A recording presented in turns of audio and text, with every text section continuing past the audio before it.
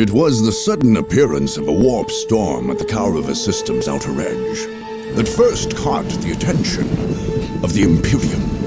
And not just the Imperium.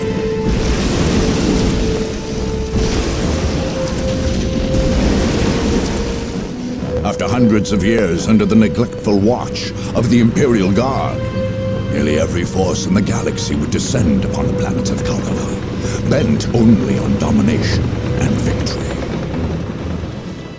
Three races had long dwelled in there. The Imperial Guard, its supposed rulers. The Ork tribes of Kaurava II, which the Guard had never successfully put down. And the Necron, who had slept undisturbed for untold millennia beneath Kaurava III.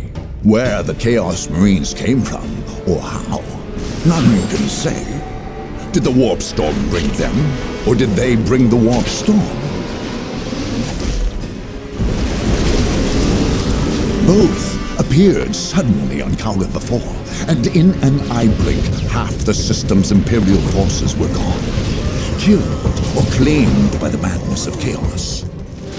In quick succession, the others flocked to Kaurava. The Space Marines, the Imperium's super soldiers, descended on Kaurava II, planning to finally cleanse the system, both of the troublesome orks and the Chaos Marines, the sworn mortal enemies.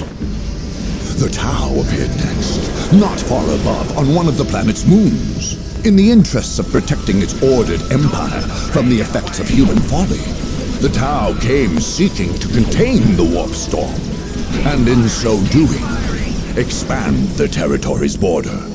On their moon, they built a mighty fortress, and there forged a space cannon capable of interplanetary devastation.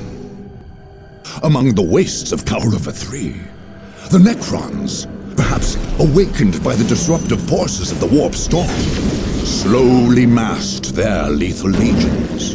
In quick response, webway gates, long unused, flickered to life.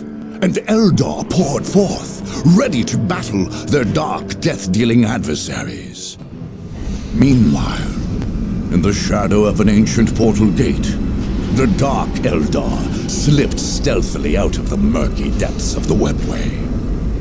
They would be like carrion birds, flying above the battlefield, and when all were weary from the fight, make the battlefield into a feasting ground. Last to arrive, and perhaps most to be feared, were the Sisters of Battle, holy maidens and bearers of the God Emperor's faith. They had come to cleanse the system of corruption and filth. Their faith left them fanatical, unafraid of death and zealous in their cause. Nothing here was clean. All must be purged. Now, war rages anew, and only the victorious may write their history. Only the victorious will claim the planets of Kaurava.